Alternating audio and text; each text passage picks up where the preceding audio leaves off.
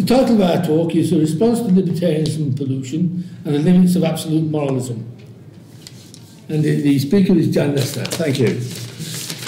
Uh, this is uh, about half a page summary of the uh, argument that appeared on the Institute of Economic Affairs blog, and then just three and a half pages of um, response to that argument. So uh, short and sour.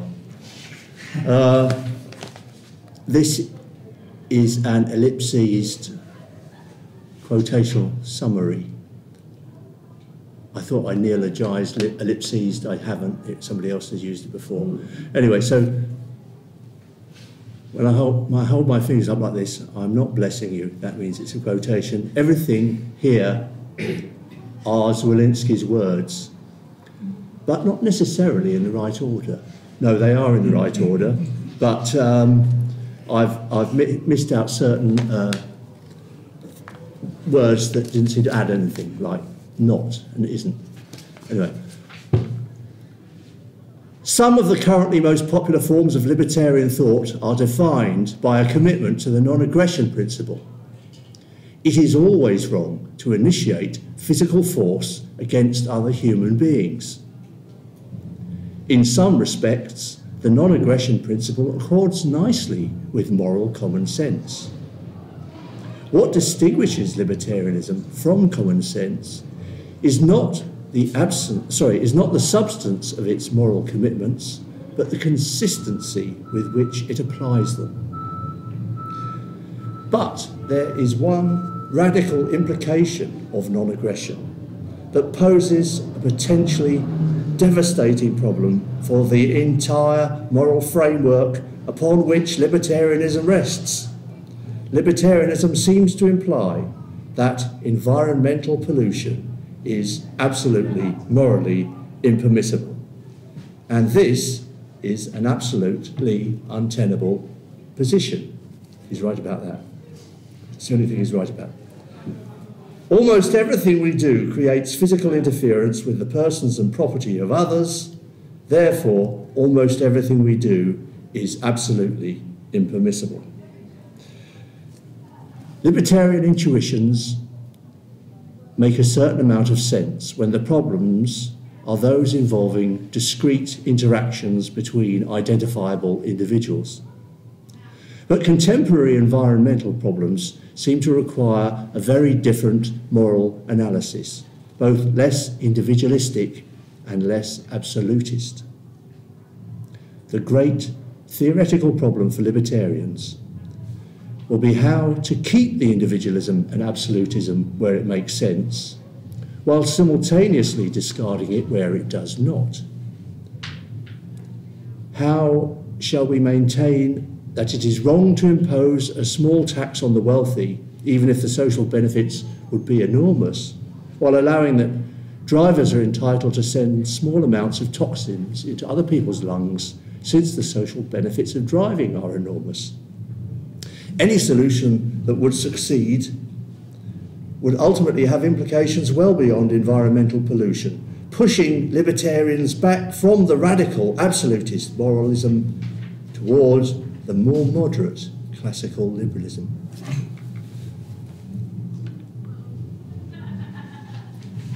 I sometimes think that Americans' relation with uh, philosophy is a bit like their relation with uh, irony they don't quite get it, um, even when you explain it to them.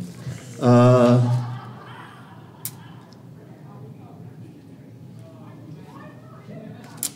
anyway, um, I might have been being ironic there, but no Americans will ever know.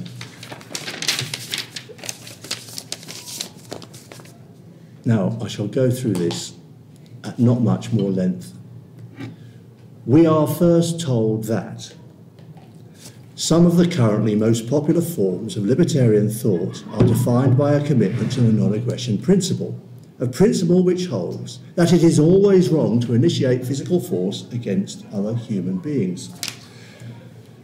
Although popular, this is a poor expression of libertarianism, aggression is problematic as being what libertarians are against. For one thing, it is rarely explained exactly how non aggression is supposed to relate to a theory of interpersonal liberty. For another, non aggression in plain English is no more up to the task than non coercion, another libertarian favourite, although less popular of late, not without charitable interpretation, at least. As glossed in the previous quotation, aggression clearly does not work for two main reasons. First, theft and fraud don't need to involve anyone having to initiate physical force against other human beings.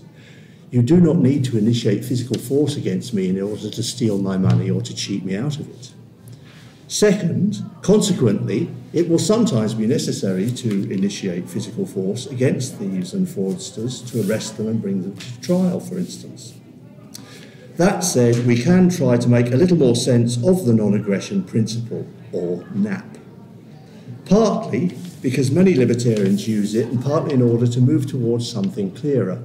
Therefore, we might, as above suggested, provide a charitable interpretation of aggression. For instance, the proactive interference with the bodies and external property of other people, where that property is itself is not acquired by proactive interference. And if we do that, then it begins to make sense that the absence of such aggression is what interpersonal liberty is, though this sets aside various precise philosophical problems with this account. For such aggression against us would be other people initiating constraints on us, and we can then make sense of interpersonal liberty as the absence of such initiated constraints. However, it ought at least to be mentioned that what liberty is as a theory and as social phenomena is a factual matter that is completely separate from the moral issue of whether breaching such liberty is always wrong. Conflating the two issues, as the article does, is a major source of confusion. Having rectified that account of the non aggression principle sufficiently for our current purposes, we can now proceed to the second major error in the article.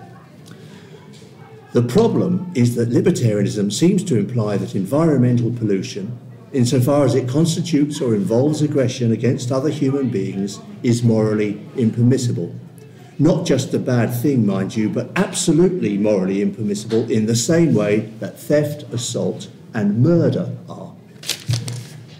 The error here is easily explained. The non aggression principle as interpreted here at least, and the uh, explanation I gave of it may sound rather Rothbardian, but there's an important difference in the way uh, I actually uh, made it precise. Uh, is best seen, the non aggression principle is best seen as being what observing liberty fully or absolutely would require. That is, full liberty is the absence of any aggression, i.e., proactive interference with people and their non proactively interfering property. Now, it is true that pollution will be aggressive in this sense, but that is only half of the story. Because to prohibit the activities that are causing the pollution will also be aggressive. Consider a simple example. If I have a fire for warmth and cooking then you might suffer some minor pollution as a result. But if you can force me not to have a fire by some means, then you have deprived me of warmth and cooking. Both the allowance and the prohibition of pollution will be aggression. Whichever one is preferred, or however they are balanced, there will be some aggression. Therefore, it is impossible to implement the non aggression principle in the event of such clashes. So, what is the libertarian solution? It is surely libertarian to maximise liberty as far as is practical. That means adopting a minimum aggression principle or MAP in the event of such clashes. And that probably involves compromise and possibly compensation. How are minimum aggressions to be determined? They can often best be measured, traded, and compensated for by assigning market or at least reasonable monetary values to the gains and losses involved. In any event, the general solution to the problem is to see the non aggression principle as referring to observing liberty when matters are one sided, but the minimum aggression principle applies when there are clashes. Note that this profit solution is not, as the article suggests, restricted to discrete interactions between identifiable individuals. It applies just as much to a world increasingly characterized by the complexly interrelated activities of large numbers of dispersed individuals. But to engage in, say, class actions, as the legal term has it, over contemporary environmental problems such as automobile pollution, acid rain, and global climate change is not, in any anti libertarian sense, to be less individualistic in identifying perpetrators and victims. However, there is an important equivocation here in one sense, rules that are intended to protect the general public rather than individuals in particular are thereby ipso facto not individualistic. I've lost my water now.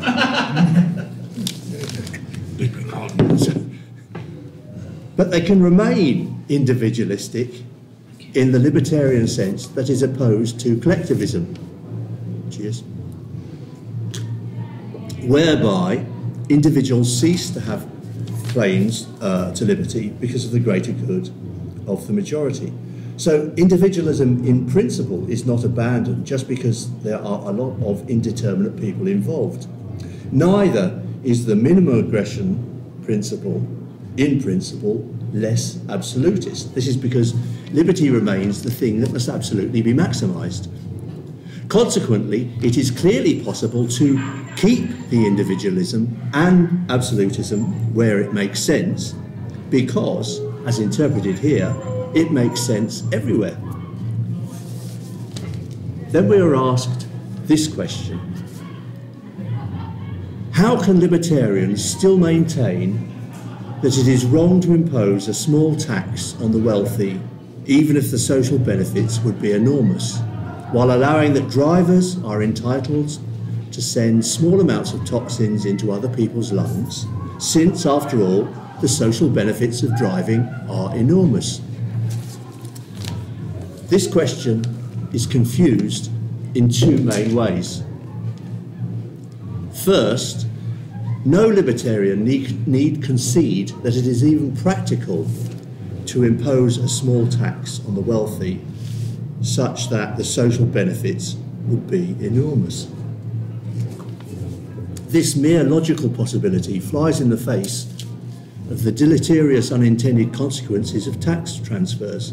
In an imaginary world, the state might well be a welfare boon. In reality, it is a welfare bane. There is no sound reason to suppose that utilitarianism must, in practice, countenance violations of individual rights, as the article assumes. Second, it is at best a muddle to describe the libertarian case for allowing the toxins caused by driving as being because the social benefits are enormous. It is again necessary to look at both sides before applying the minimum aggression principle. On the first side, allowing driving despite its toxins. This will proactively impose, aggress, to a minuscule degree on people, probably too small to make compensation claims economic in most cases. And this has to include a deduction to the extent that any particular individuals also engage in driving or benefit from the consequences of driving such as the delivery of goods to their area, etc., or choose to move into an area where driving is allowed, etc. Second, banning driving because of its toxins. This would proactively impose huge costs in one way or another on almost everyone. Hence, one is the liberty maximising option. if the foregoing analysis is roughly correct, then the answer is not waiting to be discovered by future libertarian philosophers, and it is more mere fantasy and confusion to suppose that any solution must ultimately mean pushing libertarians back towards the more moderate classical liberalism of Adam Smith, David Hume, and Friedrich Hayek. Clarificatory conclusion. Because of the way that the problem was originally framed, it is easy to misinterpret the uh, foregoing response. In particular, it might look as though it amounts to a moral advocacy of a sort of consequentialist libertarianism to replace deontological libertarianism. It does not. And such an interpretation would be to miss the crucial main point in a typical way. For the response is not really about libertarian morals, it is about what interpersonal liberty is in abstract theory and what applying it objectively entails in normal practice. Most self identified libertarians unwittingly have a moral muddle without a central factual theory of liberty. They cannot yet see that they first need to sort out what liberty is and therefore entails if instantiated, and only after that can moral questions about it be coherently raised and tackled. An analogical error would be utilitarians who could not even give an account of utility. And that is the central problem with modern libertarianism, as, as I see it. They can't even tell you what uh, liberty is. And all of the problems radiate out from that. Thank you.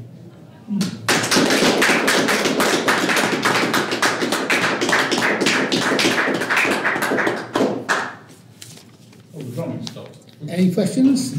It was an accompaniment. Do you think, um, in terms of where you were saying waste to benefit, sort of um, impositions and um, liberty between two individuals, um, so do you think that sort of who was there first comes into Yes.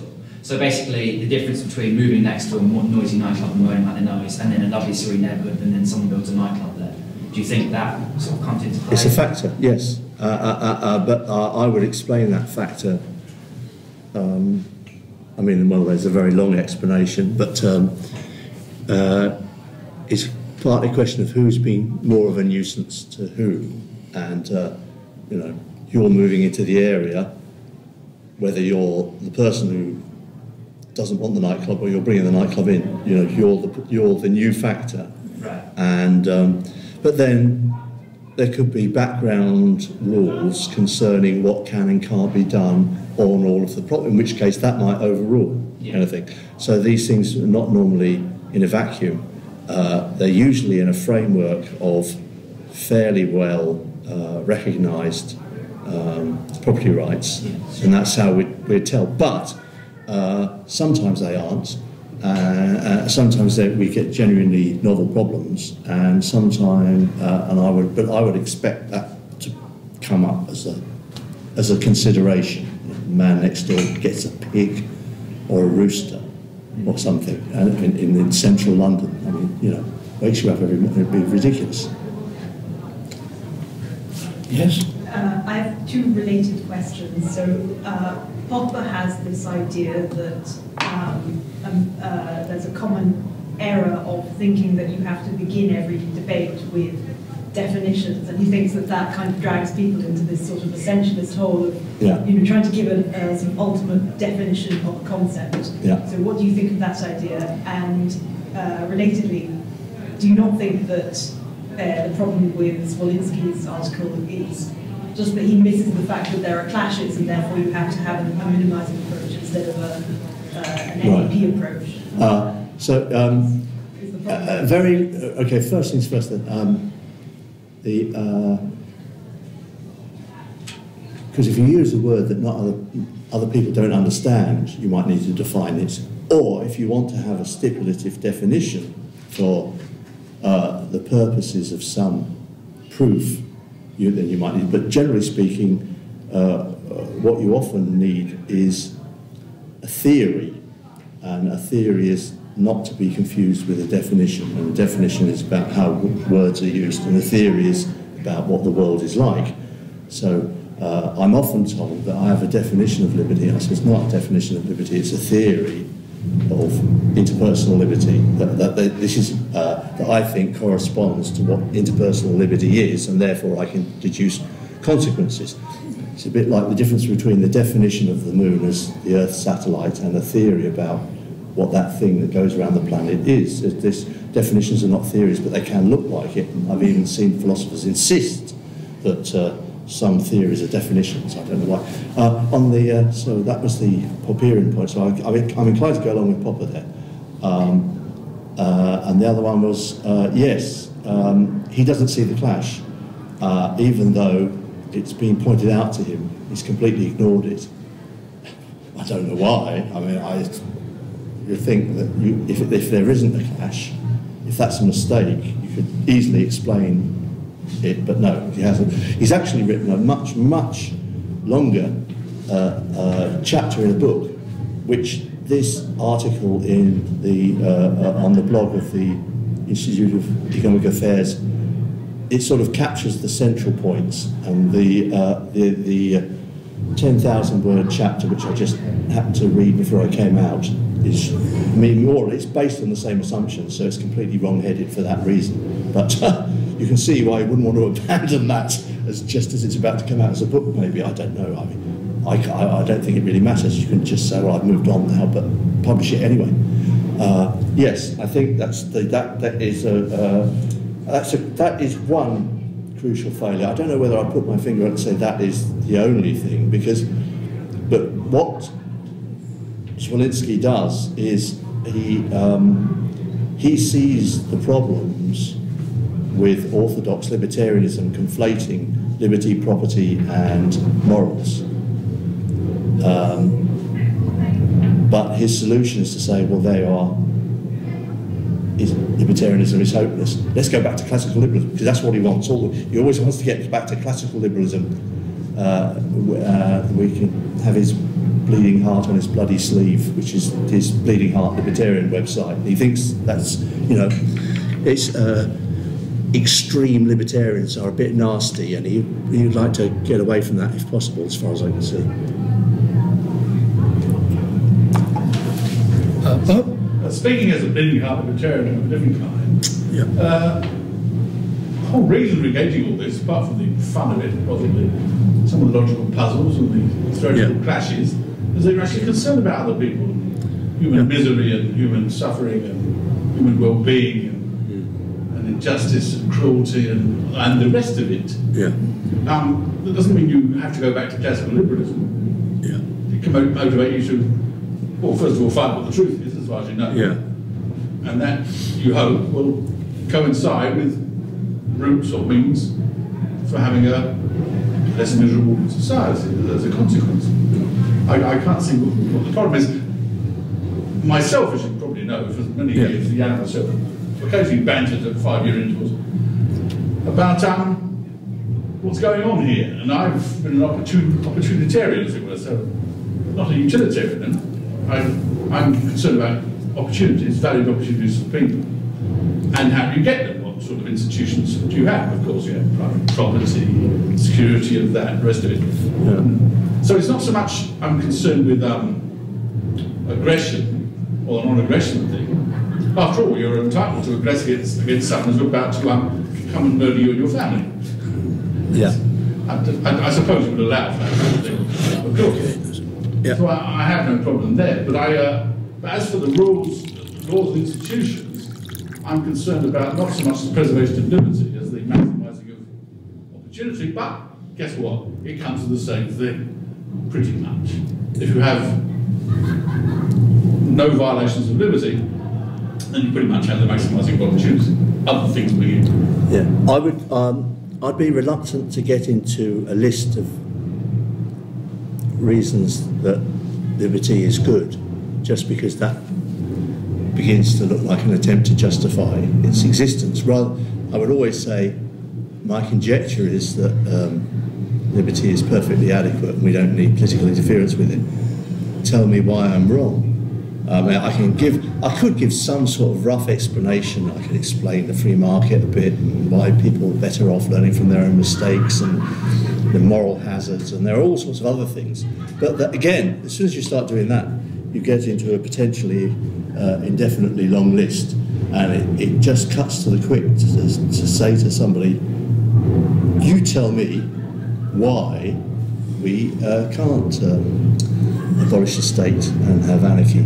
Uh, which almost universally people, uh, by the way, use anarchy when they mean anomy, no rules. Uh, uh, that's not going to change in a hurry. So, we, but it's worth pointing it out to them that we are not anomists, and anomy is what they're complaining about. We actually want laws. Anarchists, the arrived at that protect people and property. Is there anyone else in this? Most people don't understand what anarchy is. They hear anarchy all the time, uh, and it's easy to it's easy to denounce people as anarchists. Uh, but if Yeah. you denounce people as on animists, then they go. It doesn't happen, does it? Yeah. You animist. yeah, exactly. They're not quite sure. An what animist, means to yeah. Someone from anonymous. Yeah, yeah, right. or a spirit, spiritualist, anime, animist. Are you praising or condemning what you say said? That's what they would think. Yeah. Are you bragging or complaining? Especially with an older generation, uh, anarchy had even, even more strong. Um, so, someone like I was talking to my grandfather about this recently. He was talking about when of his generation, the word anarchist was basically just used as a catch-all for terrorist, basically. Yeah. So, um, if that's the starting point, Yeah. how do you imagine someone, you know, throwing uh, Well, petrol bombs? I mean, it's worse than that at the moment. This this uh, attack on extremism, which is just crazy. Yeah. Excellence is extreme. Yeah. If somebody's a straight A student, that's a bit extreme. So they need to be investigated by the police. Uh, if you want to get rid of um, politics, I suppose that makes you libertarians extremists, but we don't advocate any violence at all. So it means that they can investigate and arrest anybody that, uh, that they regard as, as extreme, but it, the, the word doesn't really have any content. Uh, but ju- just pick and choose, which is very Stalin-esque, you know. Extremism is just consistency, really. Uh, how could, as such, extremism cannot be. I can understand. The war on terrorism was a fairly silly idea, abstraction, but the war on extremism, That's even scary. you've been going around being excellent, and excellence is an extreme. You're therefore you mean, you're in trouble. Extreme. They, they mean something like I think they mean something like the Violence. tradition. No, they mean something like tradition that there's someone. Everything traditional is middle of the road. Oh, yeah. If you're coming out with the extreme, you're coming out with something. In fact, they even actually said anti-democratic, and by, then okay, so then I am an extremist because I don't believe in democracy. So then, then I am an extreme. But uh, if, if well, well, it's, it's a very seems a very slippery slope to and what uh, is arresting and investigating people who completely and utterly peaceful. Are these people moderately opposed to extremism? Or extremely Ah. opposed? Don't expect them to be consistent. They're above the law. The, thi- the thing is, to study anything, you've got to study its opposite. I mean, in in order to study democracy, you've got to question whether democracy is is uh, viable or not, or good or not. And, and again, with anarchy or anything else, you have to discuss the, the negative side of it, which is why it's very bad to have a blanket term of banning anyone who's against democracy. Uh, you know, it, in order to be democratic, you need to allow them to continue. Is there anyone else? Uh, the word libertarian mustn't be too picky. Back to definitions. I mean, it can be a libertarian and a utilitarian of a kind. I think um, it doesn't have to mean you're a.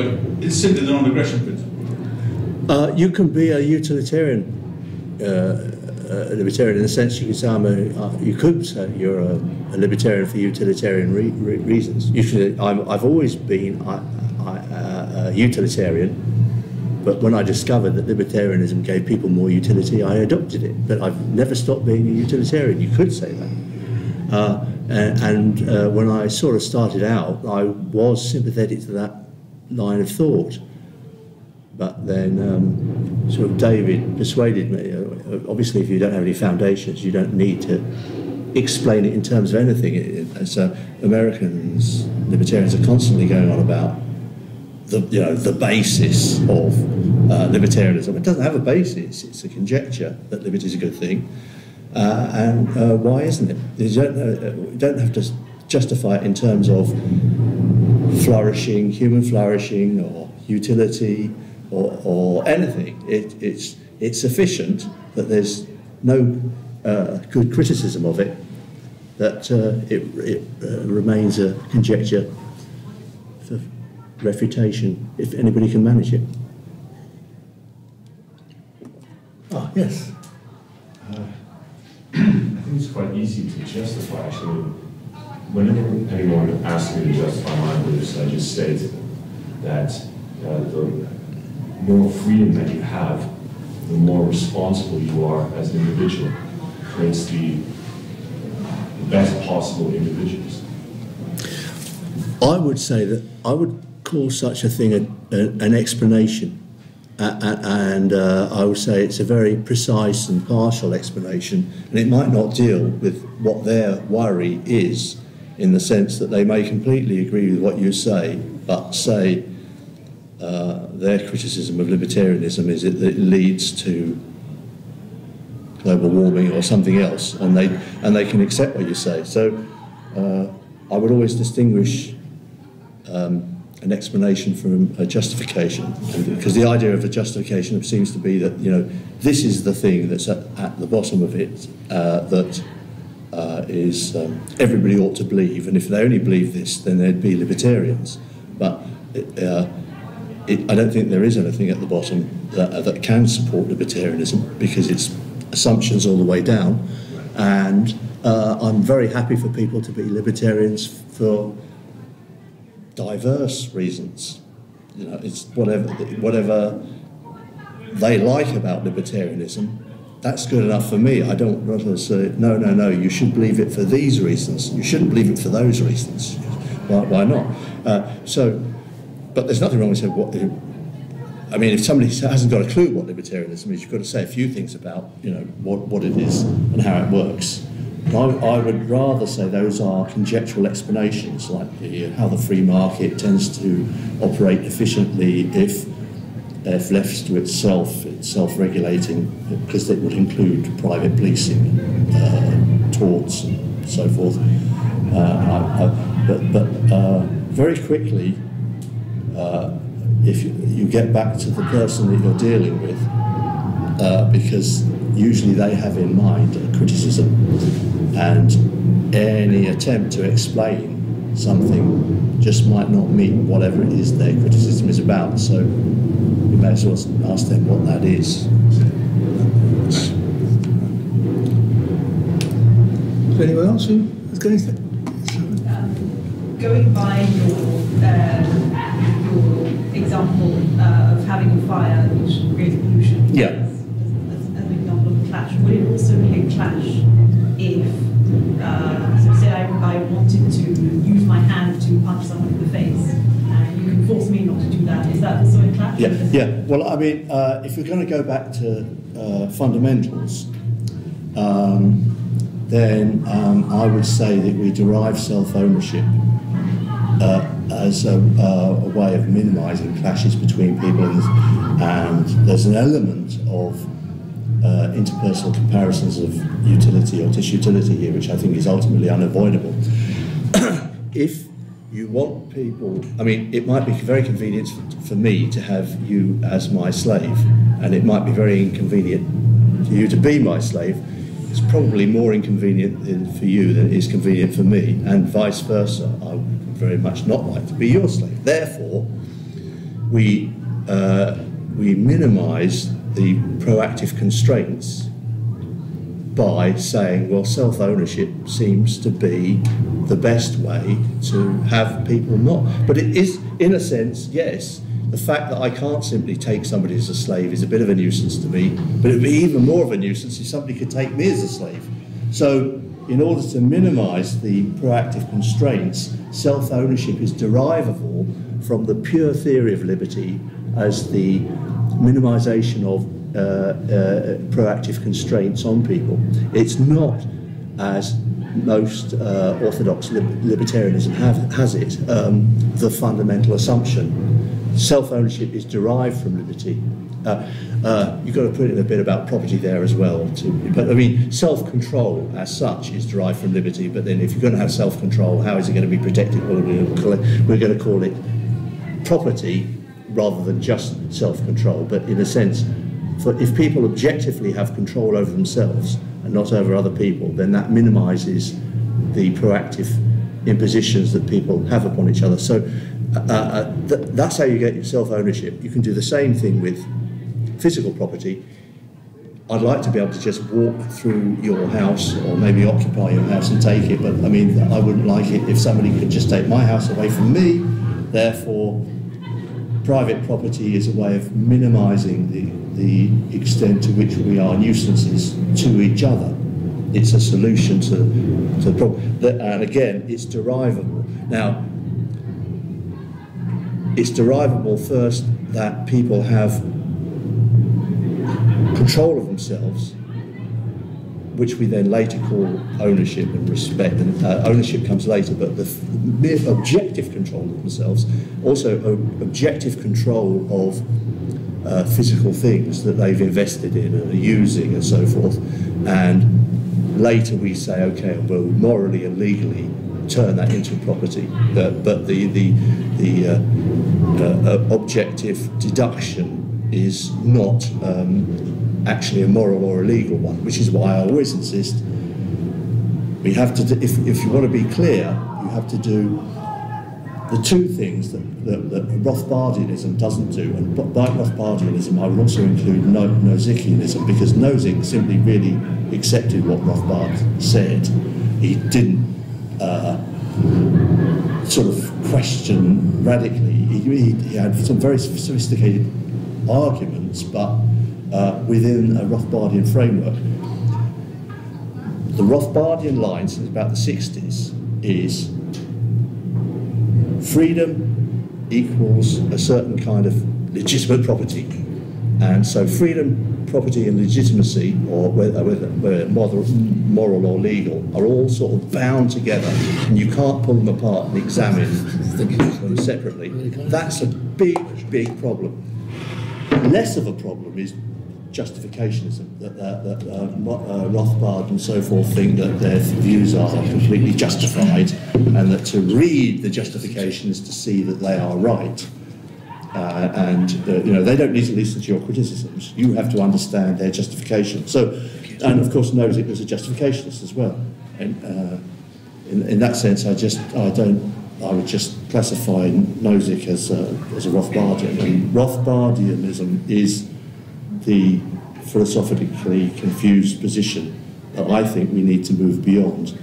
Uh, because you see the same problems cropping up again and again and again, both within the, uh, the movement by people who hold these assumptions, but also out, uh, outside critics, with the acceptance of a few sort of cult members who are very happy to insist there's absolutely nothing wrong here.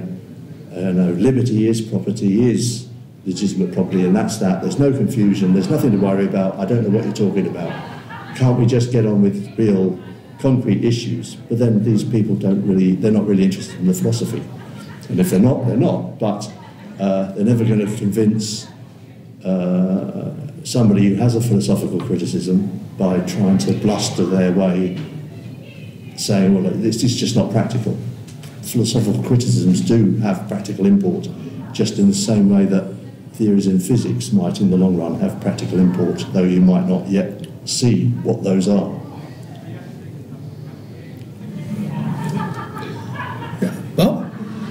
Is it possible to be a kind of um, thoroughgoing Stirnerite here and say, um, I want this kind of world?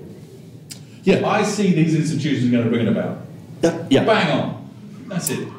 No morals. You can be a completely self-interested libertarian. So I don't care about other people. The reason I like libertarianism is I get a lot more. Well, you what, might care about other people, I, but that's what you care about. It's you. Well, I mean, you, know, I mean, you, I mean, you could. That's, that's more like Hobbes. You could be. You could be. Um, uh, uh, a psychopathic libertarian. I mean, you just generally just thought, no, libertarian society is full of goodies. That's the society for me, and, and advocate it on that basis. And that's why there I say there is no one thing you know, it's sufficient that libertarians agree roughly that libertarian society is what we want. We don't need to ask them why. What you know, what you know, maximum stamp collecting because that's what really interests. Whatever it is that interests them, I don't know. It doesn't matter. Uh, and they, they might be doing it for uh, quite altruistic reasons, or purely self-interested, or most people a bit of both. But yes, they could have very some very strange reasons, and uh, I'm sure some do. yes. Uh, one criticism I hear a lot about uh, libertarianism is that uh, basically it doesn't address the, the, the, problem of pollution. So not this argument, which is the first time I hear that, that it will just uh, prohibit polluting, but rather than the free market doesn't uh, address the externalities that were, like pollution, for example, that just could happen over like 50 years. And that's just, you know, you cannot really factor that in in, in the free market as it currently is, or when there is a time lag, when we're talking about clashes, basically if there is a time lag yeah. the clashes, like, don't know, I could think about, you know, a builder would use asbestos, and it's cheaper for yeah.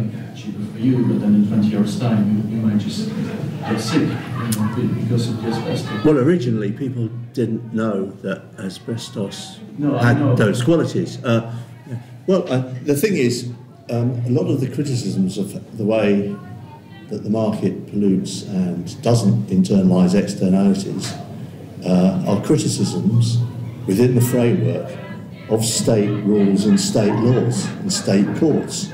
Whilst if you had private courts, I think they're much more likely to be sensitive to these things. There will be people going around, you know, looking for class actions looking to the long term, you know, um, to try and sue on behalf of people because, you know, that's there'll be money in it for them, uh, and they, they don't need to persuade an awful lot of people to, you know, pass a law.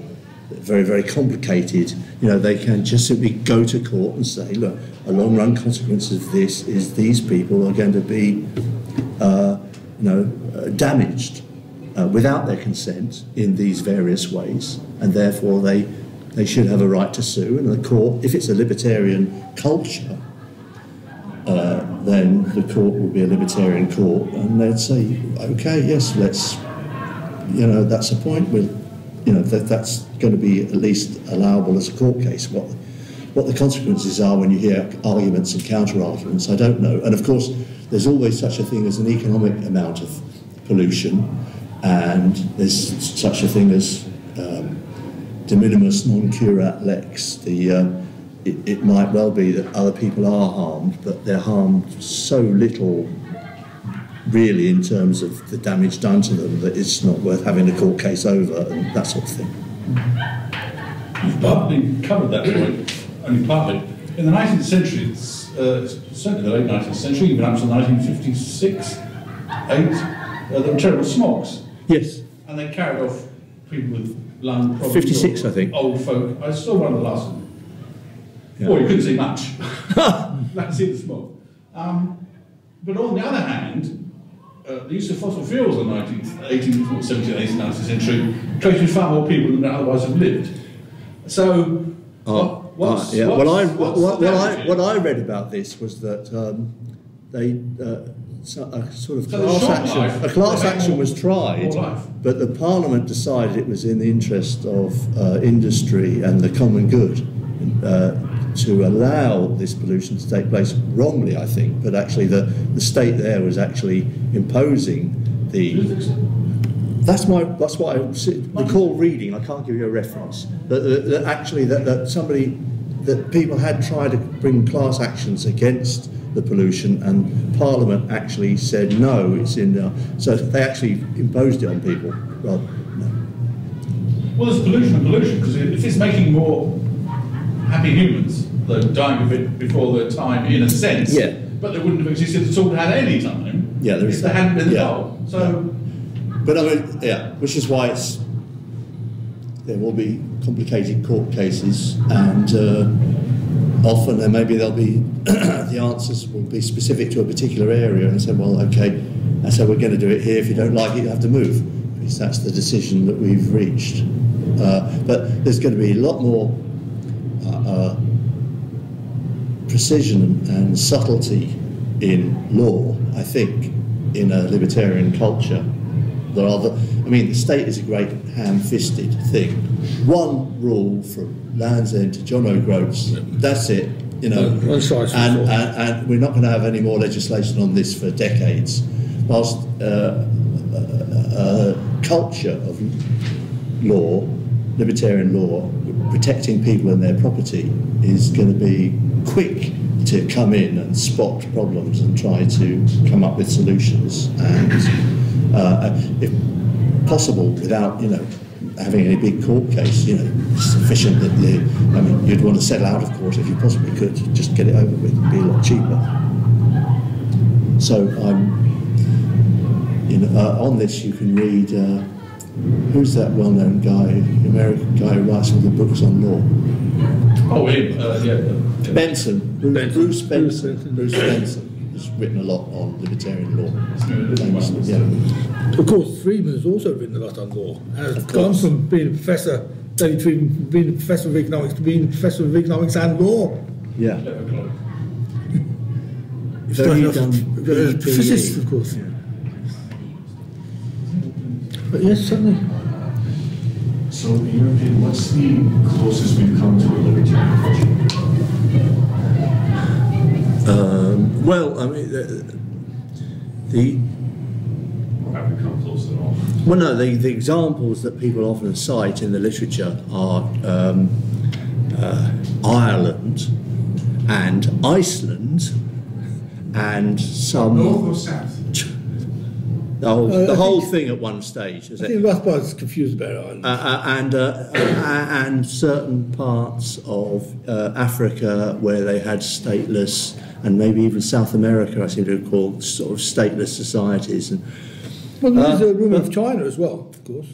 The Tao, that, that book that Open Court put out. of the- Dao. Dao. Yeah. T pronounced D. Yeah. Um, but uh, it's uh, ultimately, I think you it, uh, libertarians have to admit when they're accused, there's never been a society without you know without a, a sustained society with really without any government. So we have, to, I think we ought to admit that's true, and there's never been a society without uh, disease either. But is that a reason why we need these things? We shouldn't try to resist them and get rid of them if we can. Uh, it's a, you know, it's, uh, they sort of see the, the existence as somehow necessary. Mind you, some people think you, you need disease to get rid of the surplus population. Or, Malthus is a sort of fascinating. Certainly, sorry. What oh no, sorry. It's got to be useful for something. Yeah. it's getting We don't know easier. what it is yet. It's getting easier for me as well. Apparently, I've done yeah, this in. Yeah, uh, I've good idea. Good idea. Thank you. Yeah. Uh, any any more points? Um, Any- just a point of information. You mentioned Iceland. Well, what, what period in history were you talking? Uh, during the sagas, No, You know, hundreds of years. Iceland. Iceland. Yeah, the sagas. They come from Sagas, Iceland, yes, don't they they? don't come from Ireland. Sagas don't No, come from so, no, somebody here said north or south. No, you said North or South, didn't you? That- that was Oh, you said Ireland. Yeah. Yeah, I mean, uh, there, I mean, there are arguments. If if you, um, I've read a bit about it. I've read what um, David Friedman and some people have said about it, and uh, I, but I just don't think it's really worth getting into too much unless you're interested in the history of it, because you don't need to prove that something has existed in order that, that, uh, that it can exist or that it should exist. It's sort of irrelevant. New things happen. Uh, you know, yeah, there was a time when you could say, if you go back far enough in history, look, every society has slavery, or every society has cannibalism. If you go, I mean, it looks like human beings were cannibals at one stage, and that was just normal. After you kill your enemy, you eat him. Why would you let them? You know, but we've moved on a bit since then. I hope. Yeah, hmm. uh, As, as it happened, when- when I that's better than cannibalism. Yeah. When I was coming out tonight, some- someone asked me about well, libertarianism. What, um, where does that come from? What, uh, you know, what, what kind of economics is it? Or what, what, what person can you point me to? What's it all about? Rothbard is the mo- is the modern person who's. I mean, there are others, but I would say Rothbard first and foremost is the major spokesman for it. Yeah, well, what do you make of the, the, the term anarcho-capitalism? Because I I kind of like it more than the anarchist one because anarchy, lots of people refer to societies without state Yeah. that have worked on a tribal basis, and I'm not against tribalistic societies. I don't, I just don't think they're very successful. And what you, you're saying, we have never seen a society like a libertarian society, has a lot to do with that modern capitalism where you have companies like like Yeah. specific entities um, uh, working on the basis of, of profit don't exist that long in, in, in, in, in, this, in, the, in the sense that we see them today Yeah. as, as an individual entity. Yeah. I think if these companies are running societies, that is crucial to, for, for anarchy to be really successful. Uh, otherwise, we will go back to some kind of tribalistic society that will then be very vulnerable. They, they, have, they have a tendency to work inside, but they are very vulnerable for being conquered from outside because within these tribalistic societies, you cannot really create much wealth and, and can I mean, I my having thought about this a bit, my preference is to say I'm a private property anarchist, but actually I'm a libertarian first, and I derive private property from liberty and what you know. But if just to give people a quick picture, and and I say, and therefore by private property, many people will find it very very useful to have uh, big business doing lots of useful things. But if you all want to go and live on a commune, uh, uh, you can. Uh, there's no, there's, there's nothing inherently capitalistic about libertarianism. You can have anarcho, you can have anarcho-communism on a Yeah, voluntary well, in basis. theory, but, but practically, I mean, if everyone were living like the Amish, and there is still a society that doesn't, they would be very vulnerable from being conquered on. on Yeah, uh, yeah, but if it were um, if it were a libertarian culture that underpinned these things, then why would they want to conquer them? I mean, you in in America they've got all these groups, and I've you know even seen some of them, and uh, of course they could be crushed. But and but why? why? What's the point? Let's, let's Yeah, well, leave them alone. That, that assumes that there is uh, there is a, a, a kind of a capitalist society around it. Not everyone lives like the English. If everyone lived like the English, then would, the whole continent would look very vulnerable, and then maybe people would come from, from outside who are not libertarians and, and would crush it. Otherwise, we Maybe. would just need to have a world revolution, and then as long as not everyone on the planet is a libertarian. Well, well, now you're getting into the big issue of uh, so-called national defence, and do is that one of the small areas where where you need a state, I don't think you need to uh, say- given that other states exist? Yeah. Given that other states exist, do you need one? I mean, I. Uh, I don't think so. I, I, don't, I, I wonder whether it, it's you can has, have have it done by companies, you know, Yeah, you could just have nuclear companies. defence. Yeah, I mean, uh, well, and volunteer. Well, that's the thing. If, if, if a society is wealthy enough, yeah, they, they have enough left over to buy weapons on the side, Yeah. and, and, and will have much more of those than any non-libertarian, non-capitalistic society on, on the side. So I think the big advantage in defense for, for libertarianism is capitalism, and capitalism producing a lot of, of wealth, and then this wealth can easily be used to build up some defense. except except that most of this wealth isn't used to build up defence; it's used to attack other people. That's Well, unfortunately you know, a state is- go to war. But, on- on- but, oh. but that is a state state problem. I mean, a private company wouldn't just go around No. nation building people because Well, that is way too expensive. And, Yeah. But um, but people would be armed probably. and They Yeah. would be well. okay, you're not armed. They can- supposing. Okay, you're not supposing uh, the existence of a state. You're just saying we need to be rich enough to be able to protect ourselves. I, I, I, I, I say that if there is a libertarian society within a world where there still are states, Yeah. I don't see much of a problem defending that that if, if they are aware of the problem that there are other states, which there probably will be, and they, they take action to, to basically um, Yeah. prepare themselves to be to defend Yeah, well, this is okay, but this is getting way off, you know, pollution and. Uh, okay. Um, well, Yeah. invasion of, I suppose the invasion of armies is a kind of pollution, but uh, on the non-pollution front, uh, that's correct. But there, there would be a time period by which a, a poorer libertarian society is not quite as rich or as well armed as an interventionist. So the idea that that in itself, it's the best option, but there is a period when you're growing sufficiently wealthy to Well, yeah, have no. an, an instant army. and yet, North Korea has nuclear Yeah. weapons, and it's not a wonderful capitalistic product. Yeah, but they're not really. I mean, they could could uh, create some, some damage by, by, by with a, with a huge army, but as soon as they were attacking someone, I think this whole thing would implode because then people would see that there's this outside world that is much better than, than Yeah. loyalty would. Yeah, but I mean, what I mean is you can have powerful weapons without uh, having.